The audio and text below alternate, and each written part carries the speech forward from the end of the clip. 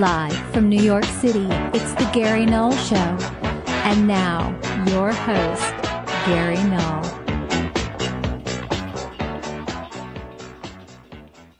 Hi, everyone. I'm Gary Null.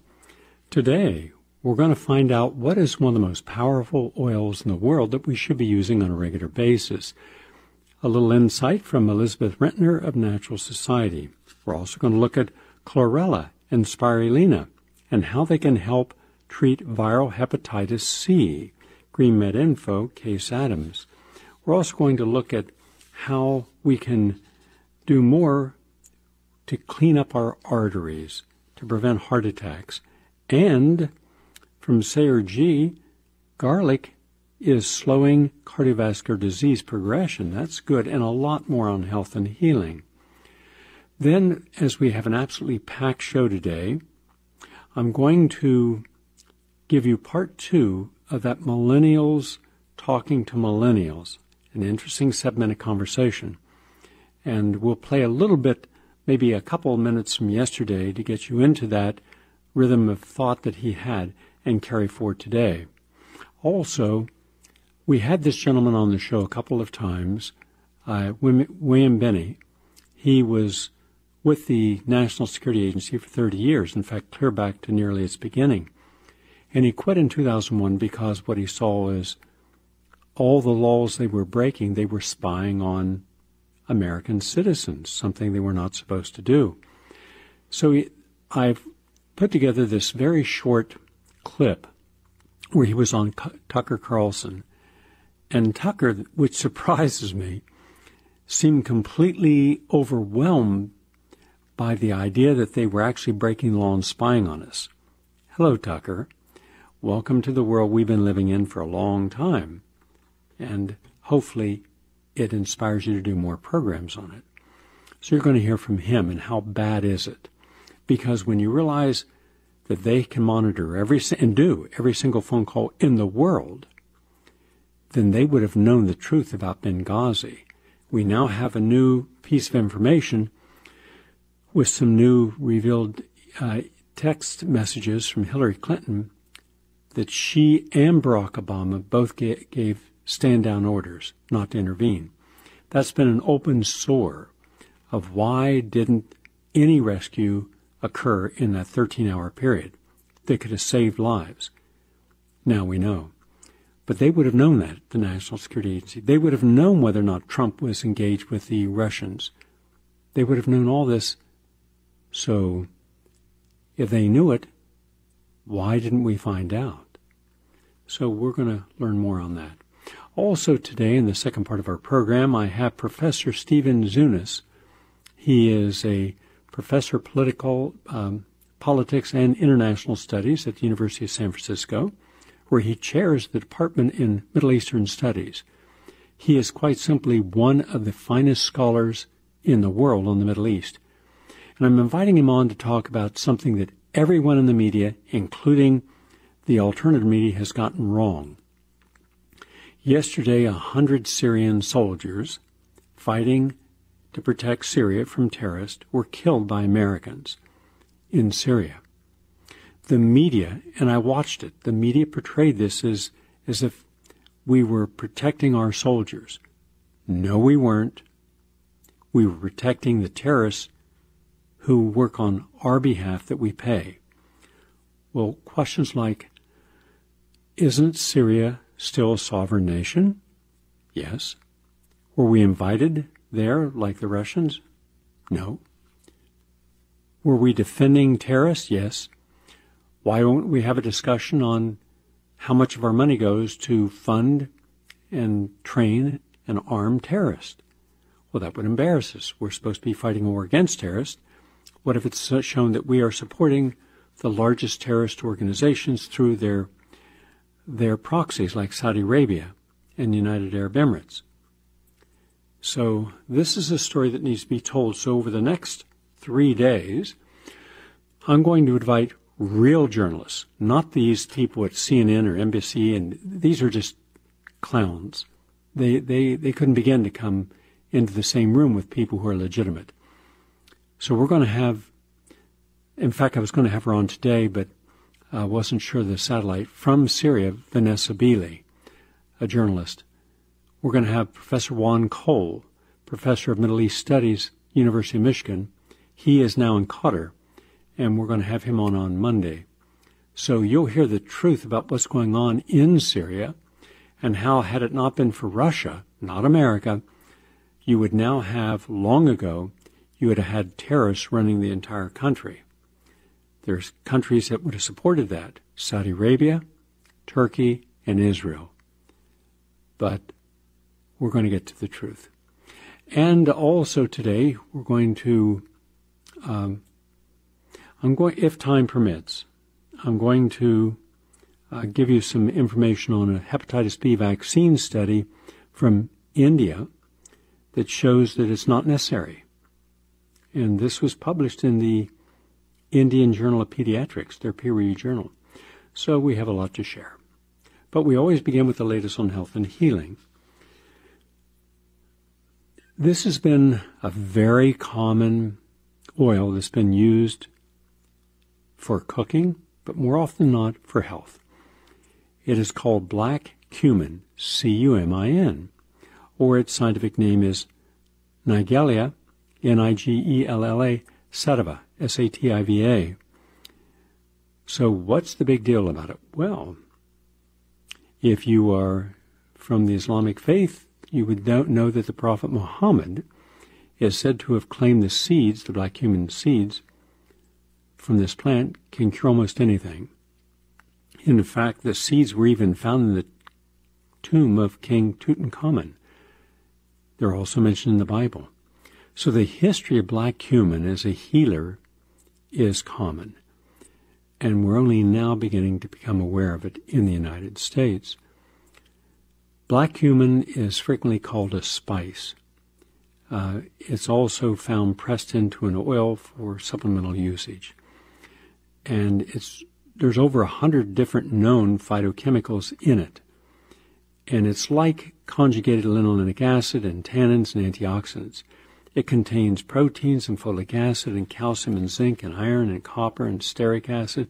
Has all these other chemicals, at least those that we know. So why should you be interested in black cumin oil? For a simple reason.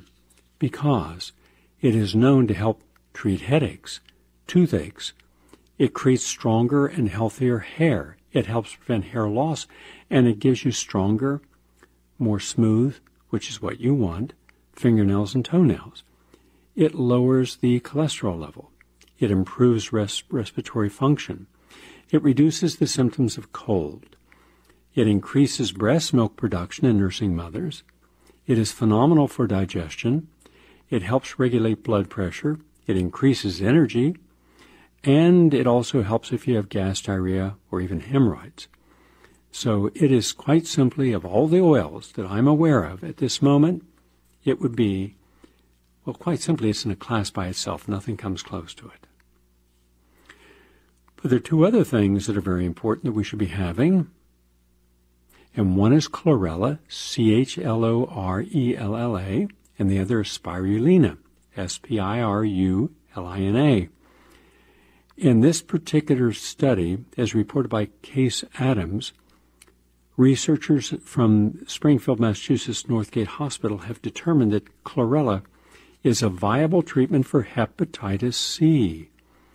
That's adding to the already substantial clinical research indicating another blue-green algae spirulina acts as a therapeutic agent also in treating hepatitis C as well.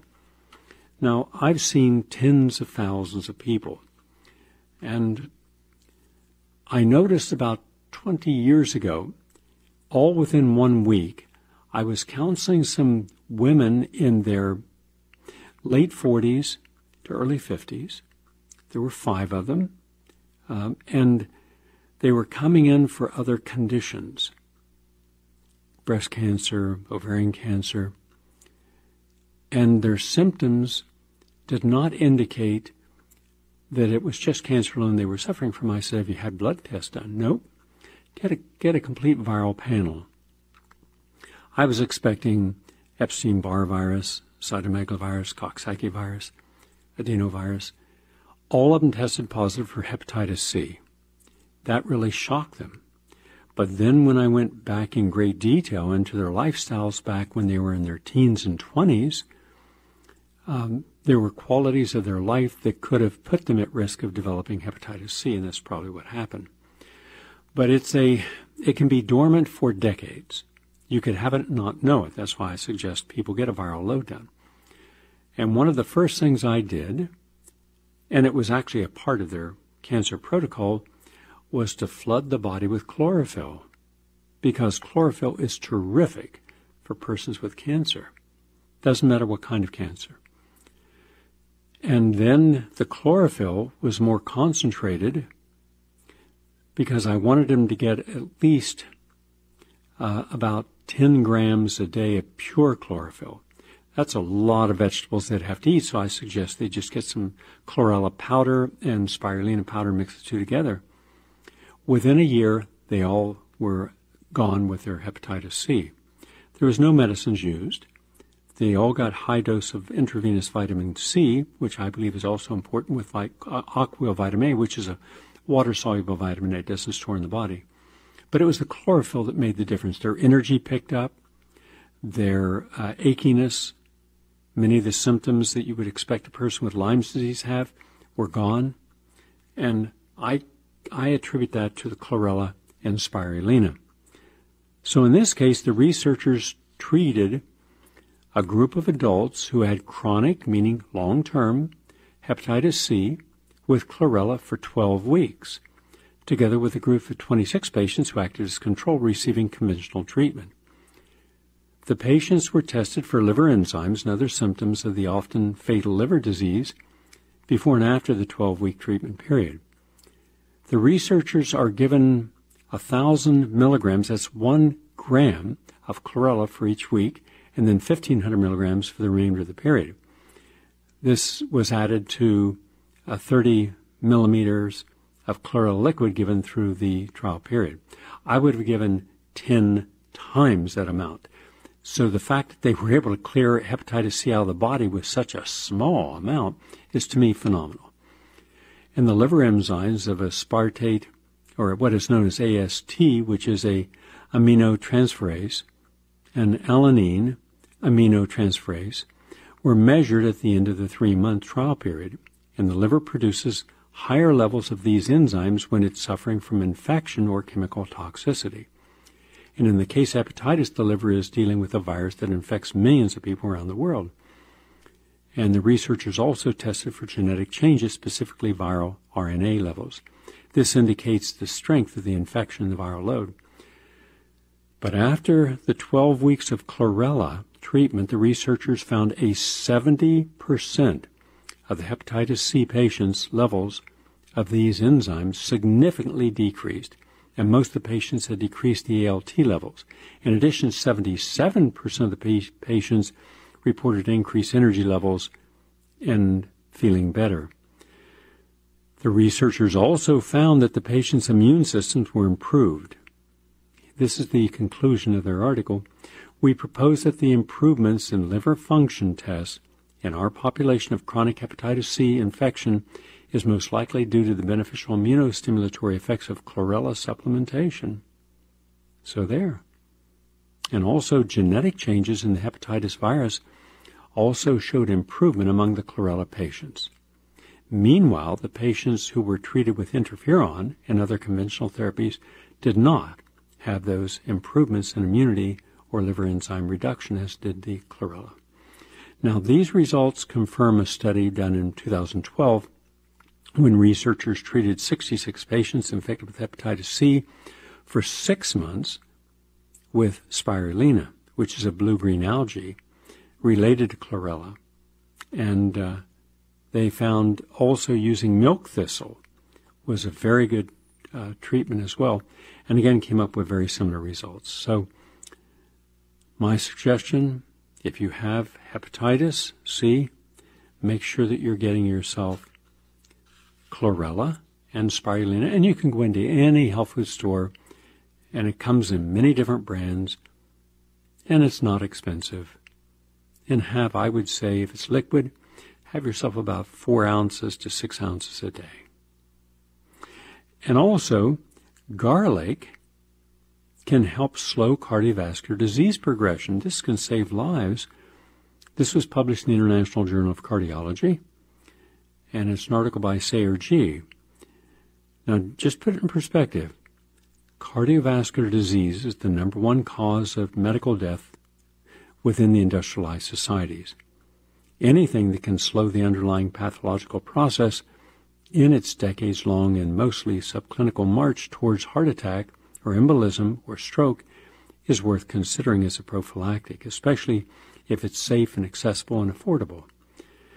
And indeed, a new study published in the journal indicates that aged garlic extract, the liquid extract, in combination with B12, folic acid, B6, and arginine, is capable of favorably altering the ratio of brown to white adipose fat tissue surrounding the heart muscle and reducing homocysteine, which is a blood vessel damaging amino acid, and slowing the progression of coronary artery calcification in human subjects. So, you want to inhibit the uh, nanoplaque formation, you want to retard the progression of subclinical atherosclerosis, you want to inhibit the coronary artery calcification, and all this it does. Oh, by the way, uh, the omega 3 fatty acids boost immune response, not just turning down inflammation. This was in the Journal of Leukocyte Biology. The long chain amino acids, the omega 3 fatty acids, can help to boost your immune system by enhancing the function of immune cells. This is new research out of Michigan State University. So that's good. Stronger immune system. What do you do? Well, you take the omega 3 fatty acids every day 1500 to 2000 milligrams. That's the latest on health and healing, and I am going to give you that information right now from our public health segment involving a study in India. And here's what it says from Vaccine Reaction. A study funded by the Indian Council of Medical Research and published in the Indian Journal of Pediatrics has recently conducted uh, research by pediatricians to examine if the birth dose of vitamin uh, hepatitis B vaccine is crucial for acquiring full immunity against hepatitis infection. And uh, they found that it was unnecessary.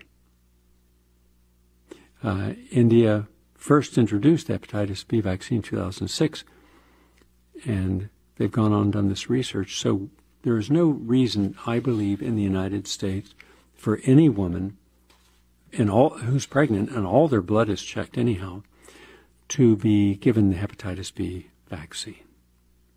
That's the latest on health and healing. I'm Gary Null. We're going to take a break and come right back. Please stay with us.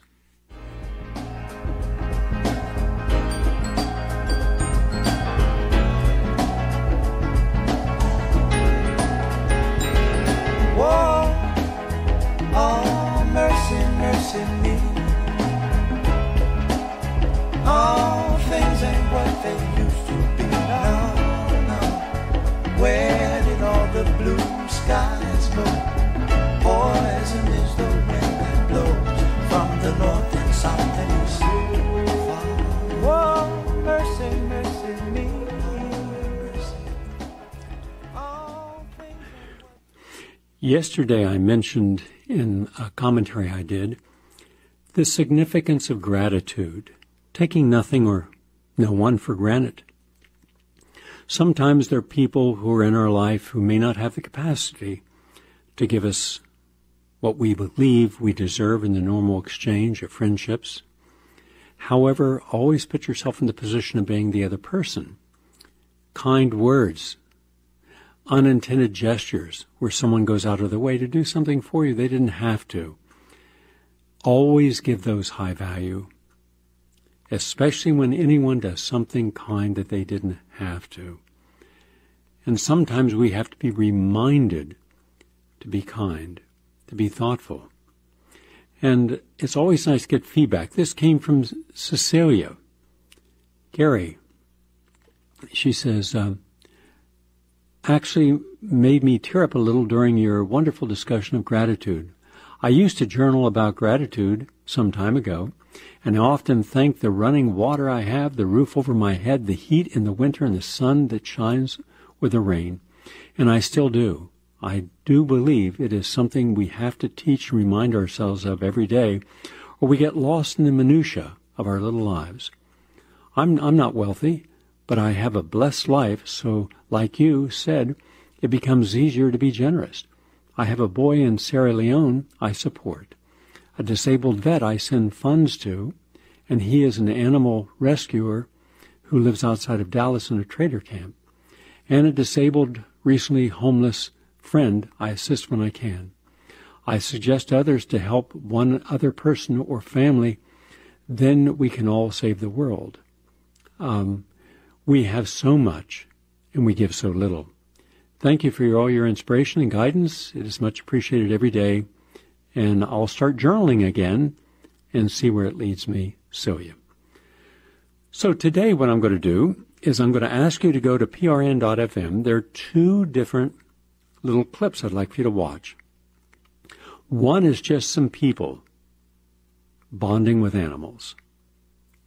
And some are animals they rescued, some they have helped but it's wonderful to look at the, the reaction of the animals to the person. For example, there's this man. Remember those chimps that this terrible lab, this blood, New York Blood Bank lab made all that money and used those poor chimpanzees in experiments, kept them caged up, and then put took, put put them in Africa in this uh, near Liberia on a little island with no food or water and they'd all died, but some conscientious locals came and fed them. I want you to see how those chimpanzees responded to the people who brought them food and water. You got to watch this. or a man who saves a kangaroo. Watch the reaction of the kangaroo. But then there's a second one. This is a little difficult to watch because it's of a very old chimpanzee, a female chimpanzee who is probably in her last day of life. And she's struggling. She's laying there having a hard time breathing and just looking around her environment. But then there's a person from long ago that comes in the room. Watch that reaction. Wow. You got to see this. Why? Because all of us are going to have that day in our life we, where we hope that we have people at the end of our life as we've had through it. But we're a nation today that's estranged from our real emotions, from young to old. We have tens of millions of people who are lonely, who feel who feel that at some point in their life they no longer are relevant to the process they once gave all their time, energy, and loyalty to. It's a painful death when you are no longer relevant is much more difficult than dying of any other disease because you can be irrelevant for decades. So imagine if we had people in our life that never, never uh, considered us irrelevant and kept that bond going. And that's important. Watch both today. Now we're going to hear part two of millennials talking about the problem and solution for millennials of what they face today. Please listen. Right?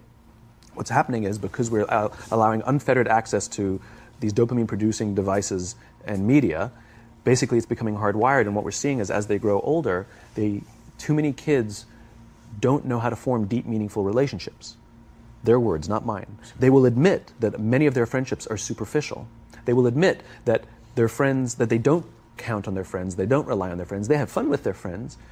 But they also know that their friends will cancel on them if something better comes along. Deep, meaningful relationships are not there because they never practice the skill set. And worse, they don't have the coping mechanisms to deal with stress. So when significant stress starts to show up in their lives, they're not turning to a person, they're turning to a device, they're turning to social media, they're turning to these things which offer temporary relief. We know, the science is clear, we know that people who spend more time on Facebook suffer higher rates of depression than people who spend less time on Facebook.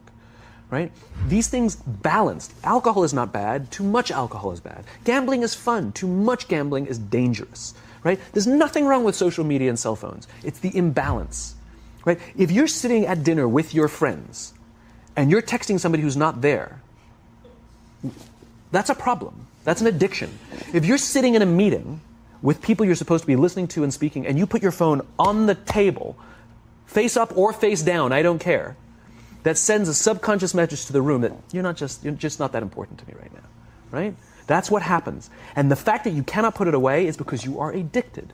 Right? If you wake up and you check your phone before you say good morning to your girlfriend, boyfriend, or spouse, you have an addiction. And like all addiction, in time, it'll destroy relationships, it'll cost time, and it'll cost money, and it'll make your life worse. Right? So you have a generation growing up with lower self esteem that doesn't have the coping mechanisms to deal with stress. stress. Right? Now you add in the sense of impatience. Right? They've grown up in a world of instant gratification. You want to buy something, you go on Amazon, it arrives the next day. You want to watch a movie? Log on and watch a movie. You don't check movie times. You want to watch a TV show? Binge. You don't even have to wait week to week to week. Right? I know people who skip seasons just so they can binge at the end of the season. Right? Instant gratification. You want to go on a date? You don't even have to learn how to be like, hey. You don't even have to learn and practice that skill. You don't have to be the uncomfortable one who says, says yes when you mean no and says no when you mean no, but yes when you. You don't have to swipe right. Bang, I'm a stud. right? You don't have to learn the social coping mechanisms, right? Everything you want, you can have instantaneously. Everything you want, instant gratification, except job satisfaction and strength of relationships. There ain't no app for that. They are slow, meandering, uncomfortable, messy processes. And so I keep meeting these wonderful, fantastic, idealistic, hardworking, smart kids. They've just graduated school. They're in their entry level job. And I sit down with them and I go, How's it going? They go, I think I'm going to quit. I'm like, Why? They're like, I'm not making an impact. I'm like, You've been here eight months. you know? It's as if they're standing at the foot of a mountain and they have this abstract concept called impact that they want to have in the world which is the summit. What they don't see is the mountain. I don't care if you go up the mountain quickly or slowly, but there's still a mountain. And so, what this young generation needs to learn is patience. That some things that really, really matter, like love, or job fulfillment, joy, love of life, self confidence, a skill set, any of these things, all of these things take time. Sometimes you can expedite pieces of it, but the overall journey is arduous and long and difficult. And if you don't ask for help and learn that skill set, you will fall off the mountain. Or you will, the worst case scenario, the worst case scenario, and we're already seeing it, the worst case scenario is we're seeing an increase in suicide rates. We're seeing an increase in this generation. We're seeing an increase in accidental deaths due to drug overdoses. We're seeing more and more kids drop out of school or take leaves of absence due to depression. Unheard of. These are all, this is, this is really bad. The best case scenario, the best, those are all bad cases, right? The best case scenario is you'll have an entire population growing up and going through life and just never really finding joy. They'll never really find deep, deep fulfillment in work or in life. They'll just, just waft through life and it'll be just, it's fine. How, how, how's your job? It's fine. It's the same as yesterday. How's your relationship? Eh, it's fine. Like that's, that's the best case scenario which leads me to the, the fourth point, which is environment, which is we're taking this amazing group of young, fantastic kids who were just dealt a bad hand. It's no fault of their own. And we put them in corporate environments that care more about the numbers than they do about the kids. They care more about the short term gains than the long term life of this young human being. We care more about the year than the lifetime, right? And so we are putting them in corporate environments that aren't helping them build their confidence, that aren't helping them learn the skills of cooperation, that aren't helping them overcome the challenges of a digital world and finding more balance, that isn't helping them overcome the need to have instant gratification and teach them the joys and impact and the fulfillment you get from working hard over on something for a long time that cannot be done in a month or even in a year. And so we're thrusting to them, them in corporate environments, and the worst part about it is they think it's them. They blame themselves. They, can, they think it's them who can't deal. And so it makes it all worse. It's not. I'm here to tell them it's not them. It's the corporations, it's the corporate environments, it's the total lack of good leadership in our world today that is making them feel the way they do. They were dealt a bad hand, and, and I hate to say it, but it's the company's responsibility. Sucks to be you. Like, we have no choice, right? This is what we got, and I wish that society and their parents did a better job. They didn't. So we're gonna we're getting them in our companies, and we now have to pick up the slack. We have to work extra hard to figure out the ways that we build their confidence. We have to work extra hard to find ways to teach them social the social skills that they're missing out on. Okay. The rea- he, he made a lot of important points. to reality companies are not interested in building anyone's social skills. They're interested in getting people in who've got their act together and working from day one, being on time, being diligent, and being proficient what they do. Unfortunately, when you try to compare the upbringing of an American, not all by any means, but many American young people with those from Japan and South Korea and other countries where they have a greater family dynamic. There are rules that are set. You're not considered entitled. You're not told that you're special about everything. You actually have to be participating in, in showing that you deserve the places that you have achieved in life. Nothing's taken for granted. And those people just overwhelmingly are the ones that are first being hired. So I think that we have to have a different model. Don't look for corporate America to suddenly become benevolent and want to help everyone. That would be a mistake. Now, in about 10 minutes, we're going to go to our guest. I'm just going to take a moment because a lot of you didn't hear the show I mentioned last week where I said that after a year of not having a particular product, I, two, uh, AM, PM vitamins and Supreme Health formula, because I wanted to reformulate them. I want to make them better. And so I spent all this time, but then making them better, I had to find a company that would actually manufacture them. And so I finally found that company to do them in the way that I wanted, with vegan, uh, vegetarian capsules and, and the formula that I felt would be ideal. So I found that company, and finally last week we got them in. What I didn't anticipate is we would sell every one of them. And so we've been out for four days, but a new order just came in today. Not a lot, 500 bottles, but at least for those of you who want what I consider the finest vitamin and mineral compound ever. And here's what makes it special. If you took any of the, every single ingredient, and we did, and asked what would a month supply this cost, and then add it all up, it's about $485. The old price was like 100 and, I don't know, 100, around 140. You're getting it for 65. So in effect, you're getting about $480 more or less value for 65 bucks. You're getting it less than half of what it was before until we run out. So here's the deal. I put vitamin A, 10,000 milligrams from palmitate and beta carotene, and vitamin C, 500 milligrams buffered, and vitamin D, 1,000 units, and vitamin E, 200, and then B1, B2, B6, at 25 milligrams and B12 at 500 micrograms, calcium, magnesium, 500 milligrams each, chromium, molybdenum, selenium, pantothenic acid, uh, panathate, uh, folic acid at 800 micrograms, by the way, and biotin, and the things that we need every day, like paraminobenzoic acid, vitamin K, iron, zinc, boron, iodine, copper, and potassium. And then the superstars, coenzyme Q10, quercetin, pycnogenol, ginkgo biloba, green tea extract, glutathione, uh, phosphatidylserine, lutein, citrus bioflavonoids, and acetylcysteine, choline, inositol bromelain, melatonin, and acetyl L-carnitine. That's it. I mean, that's all the active ingredients. So this is quite simply, in my opinion, the finest, most all inclusive, synergistic, multiple vitamin and mineral ever created. It, it is better than any I've done, and that's why anytime I can do something new and better, I do. I just didn't realize it would take a year from the time I said don't produce any more of the other stuff. I've got a new formula, but finally we have it.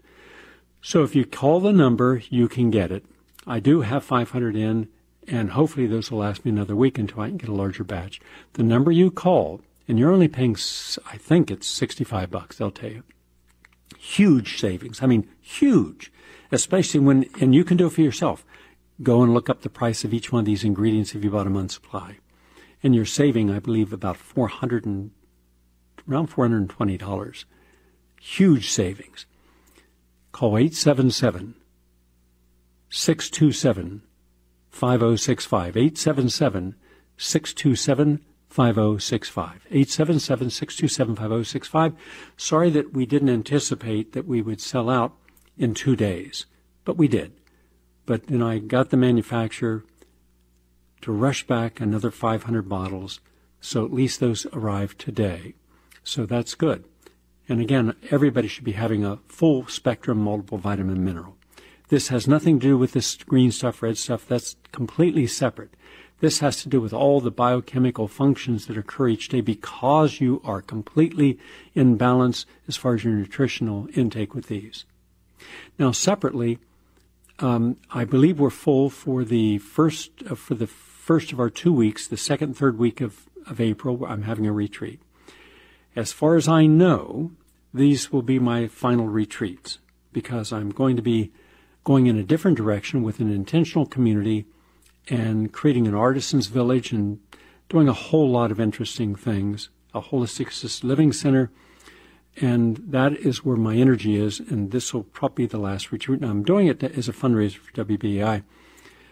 Uh, so if you would like to spend a week in April with the most beautiful environment, and especially millennials who are having a hard time understanding their life, where they fit in, dealing with depression or anxiety, dealing with possibly some, some of the skills that you did not fully develop because your parents didn't.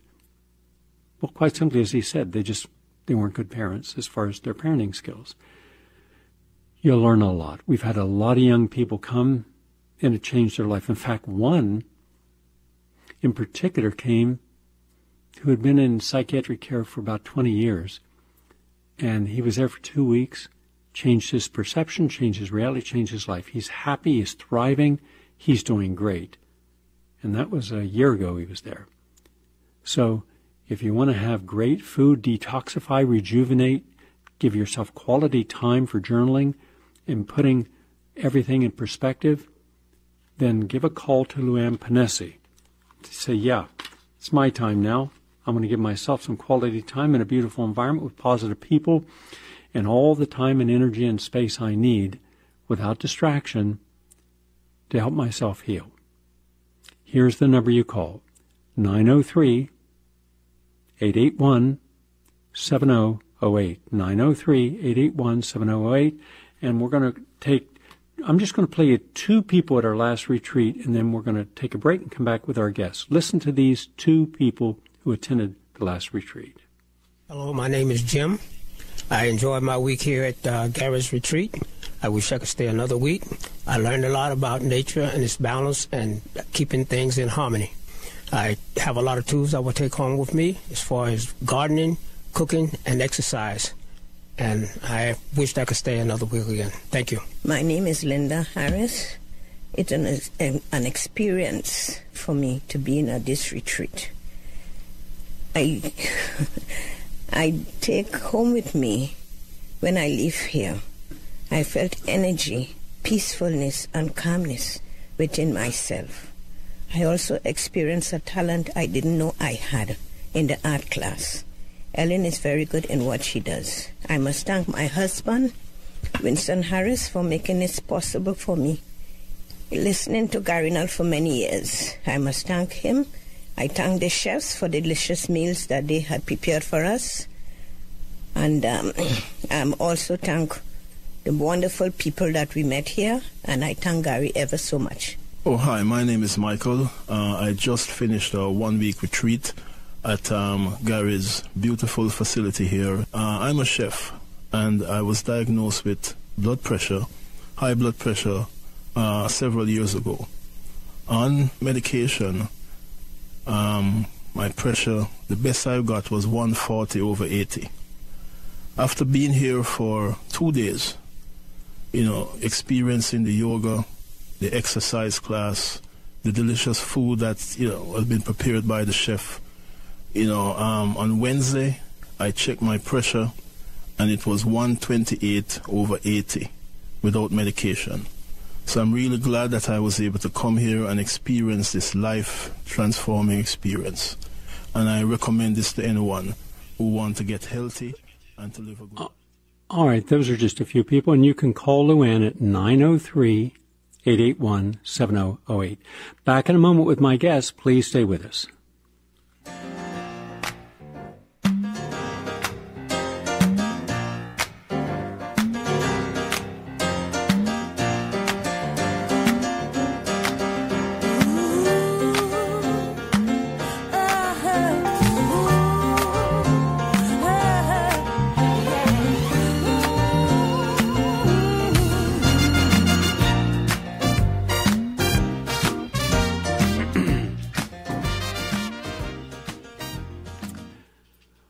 We're going now to the San Francisco area to speak with Dr. Stephen Zunes, Z-U-N-E-S.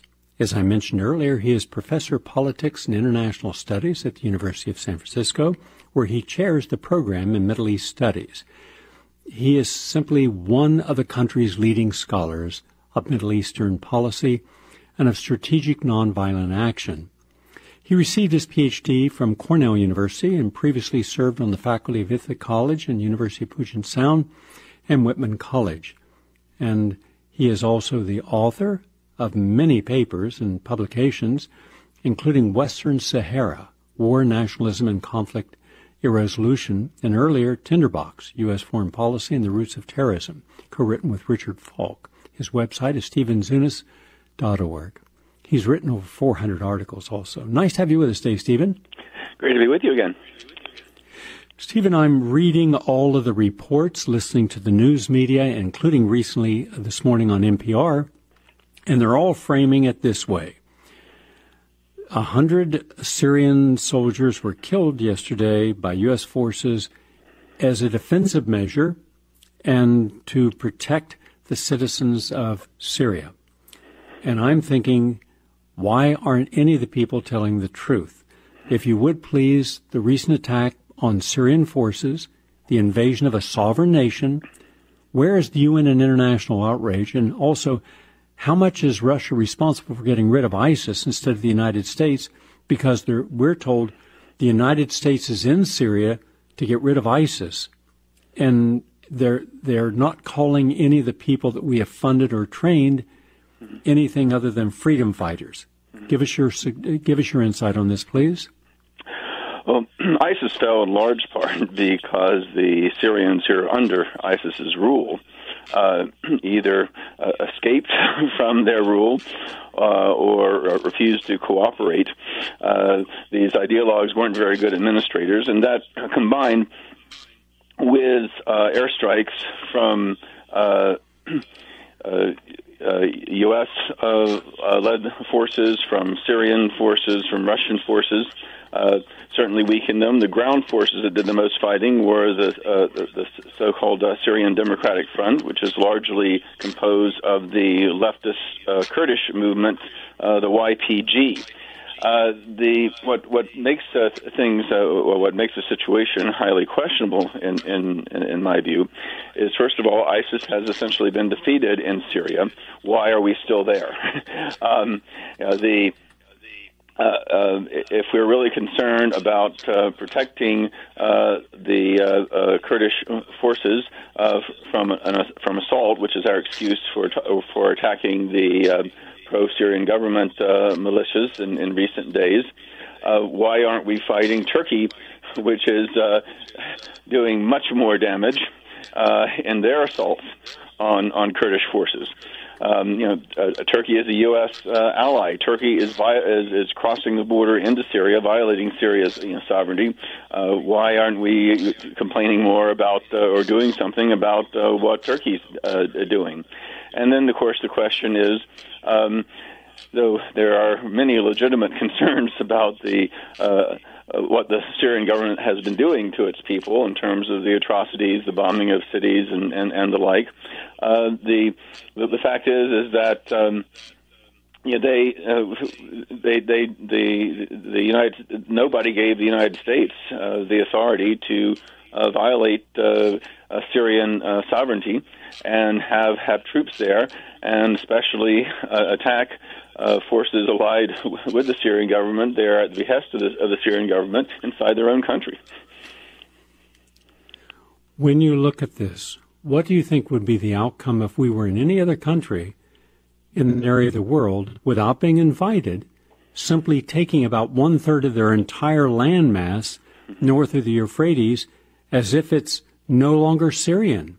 It's under the control of the United States. Oh, actually, it's under control of the um, uh, of the uh, YPG dominated um, uh, Syrian Democratic Forces, and these are in the Kurdish populated areas, these really are popular forces. They really do have uh, a lot of support. Uh, I, you know, ironically, you know, they're a leftist group.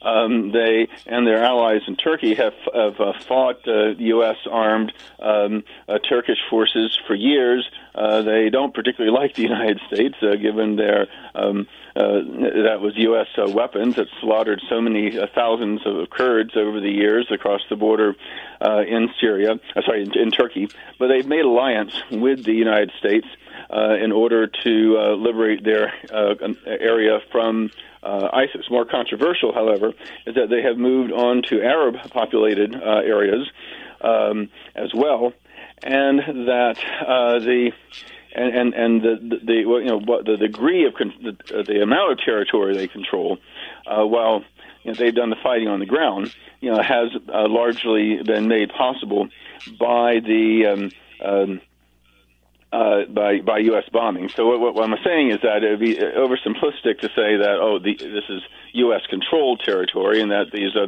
the, the, the YPG forces uh, are, are the ones who are actually running things. They do have popular support in the Kurdish areas, but the extent of their control and this current confrontation uh, with, with Syria is very much uh, a, a, a, um, a, result of the U.S. intervention. Indeed, this particular area, um, uh, unlike the areas that are being attacked by Turkey right now, is not uh, heavily populated.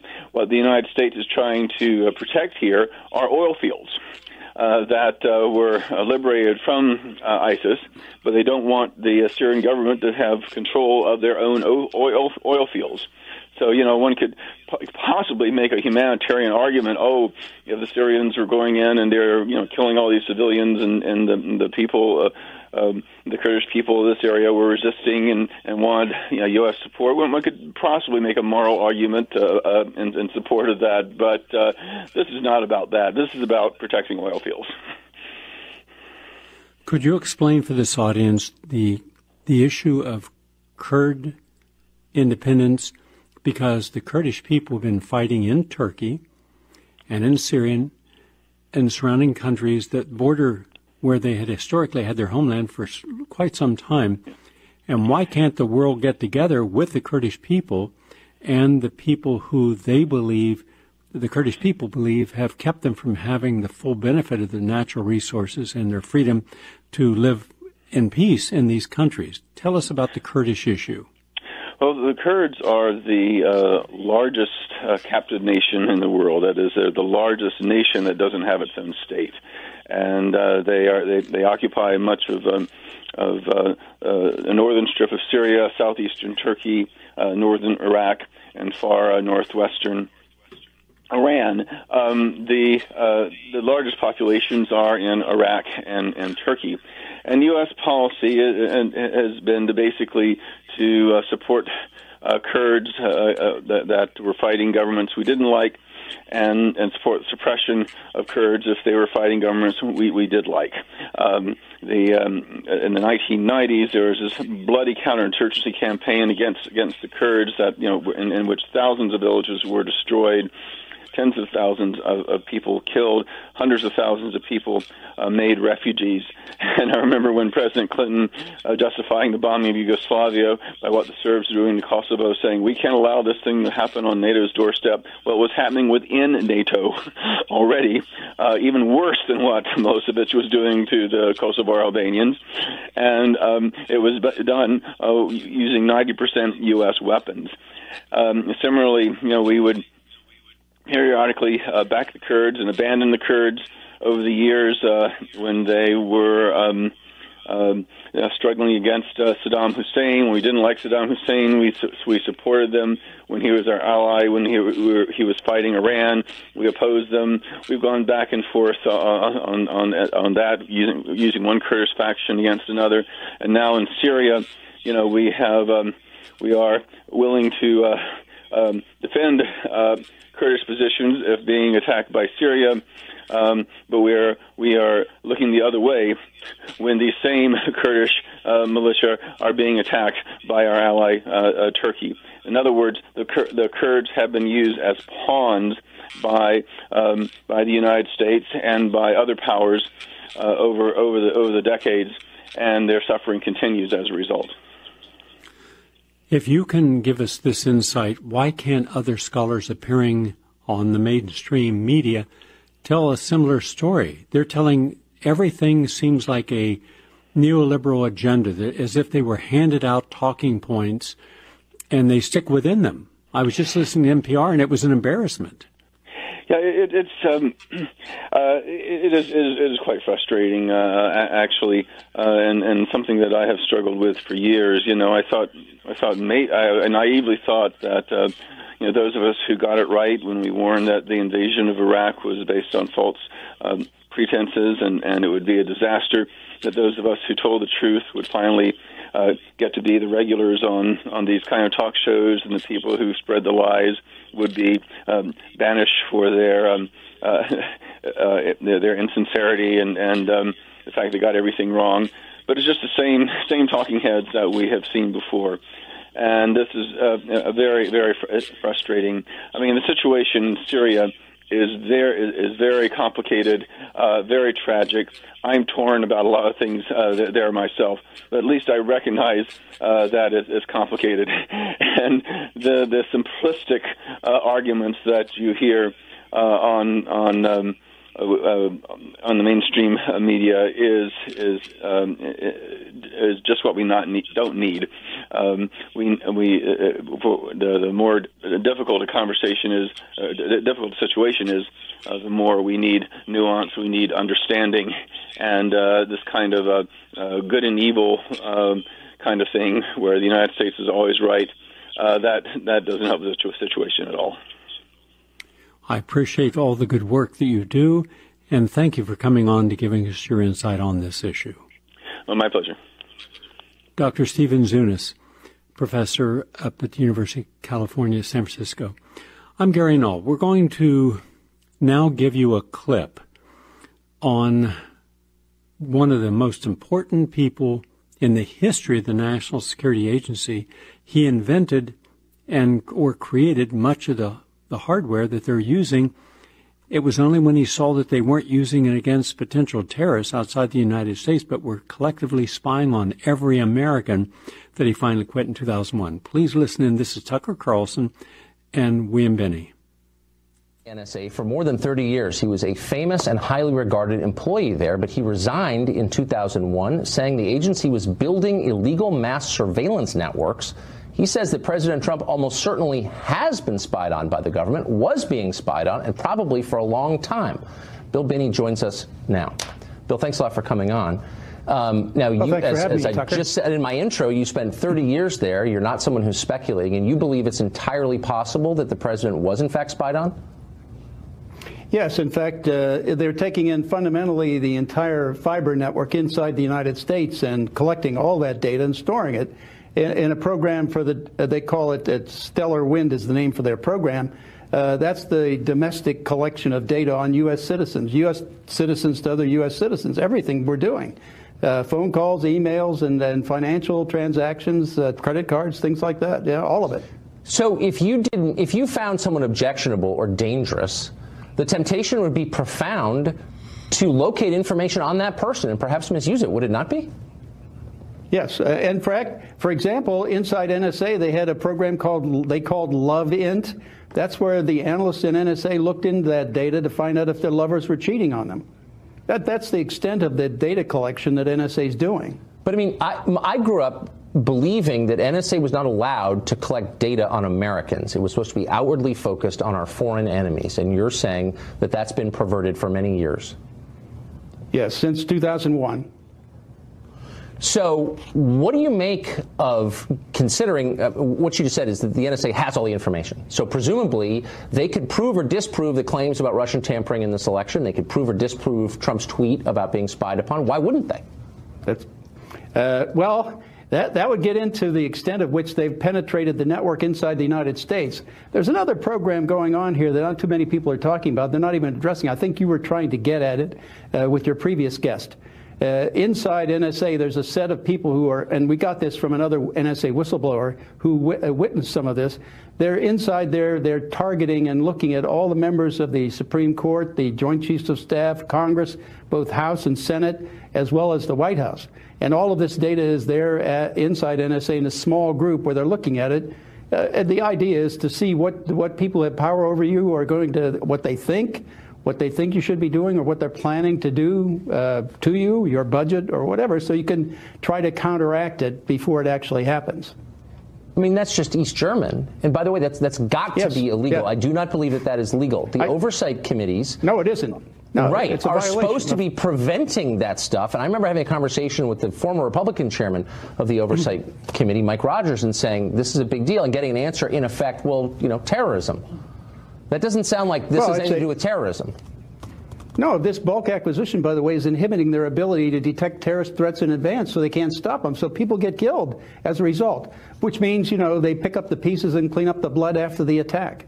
That's what's been going on. I mean, they've consistently failed. When Alexander said he stopped, they'd stop 54 uh, attacks, and he was challenged to produce the evidence to prove that, he failed on every count. So, but the NSA is not, this is my last question, but, and it's an obvious one. The NSA is not its own country. So if the President of the United States, for whom they work, to whom they report, says, look, I want everything you have on X, aren't they required to give it to him?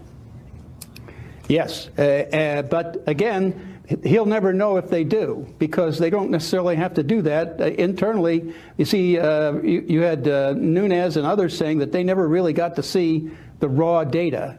So it's a question of whether or not they pull out the raw data and give him the, that data or anything, any reports generated off that. Uh, they, I, they don't have to. And they've been lying to them for consistently for a very long time. this is a shocking interview. I appreciate it, Bill. It's hard to believe we're putting up with this. Thank you for shedding some light. Well, well it's like the Praetorian Guard. You know, they're making, uh, they're going to determine what the emperor does and who the emperor is. That was the analogy that came to mind. Thanks a lot. Yeah. Okay, so in conclusion, let's put this into perspective. You have a group within, at the top level, we have to assume that it's the President's National Security Advisors, the head of the National Security Agency, who determine how to use the information that they collect. But when you're collecting every single phone call, every single email in the world, and you have no oversight, and remember, in the entire history of the House of Representatives and the Senate's intelligence oversight committees, never once has someone come forward, not once, and there, there, are many members of these committees in all these decades and said, we have found a systematic pattern of corruption within these agencies. And yet it's the whistleblowers who show there's been a systematic pattern of corruption. So the corruption is endemic. And the more power you give an agency of government, the more power it will use. But it's using it against the people. And it's not supposed to do that. So then the question is, why do we allow it? And then ask yourself, when was last time you focused upon walking down the street and seeing how you're being monitored? Not just your doing facial uh, recognition, iris scanning, but also they have these highly sensitive audio monitors that are able to pick up all the conversations you have. Are you aware that when you're in your car and you have that GPS and you have that phone system, they can control your car. They can listen to any conversation in your car. They'll know where you're at at any given time. Now they have new medicines that are actually nanomedicines, and they don't tell people what each of those nano- nanoparticles are supposed to do. They only give you some idea that it's for your good benefit to make sure you're taking your medicines on time. but we know that they always have a back end agenda, but we don't question it. So now we know, for example, that the President of the United States, as of this week, as of yesterday, we found out that the top, one of the top lawyers, a woman lawyer at the FBI, in one of her memos to her uh, partner at the FBI, who was overseeing the Hillary Clinton investigation, stated that the President of the United States, quote, POTUS wants to be kept informed of everything. POTUS means President of the United States. That means the President has been in the loop on this, and yet the media will not touch this, will not criticize him. They're all protecting Hillary Clinton, and we understand why. But every one of these secrets would be known by the National Security Agency. And we knew that for 48 years, J. Edgar Hoover ran the FBI as if it was his own fourth branch of government he was unchallenged because people were terrified of him. J. Uh, John F. Kennedy wanted to fire him. His brother, who was the Attorney General and the boss of the FBI, said, You can't. He knows too much. And JFK at that point had so much, so much that he had going against him, especially in his personal life. It would have kept him from ever having an office again.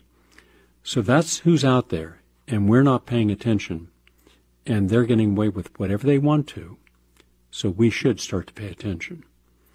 Have a nice day, everyone, and thank you very much for listening. We got it together, didn't we? We've definitely got our thing together?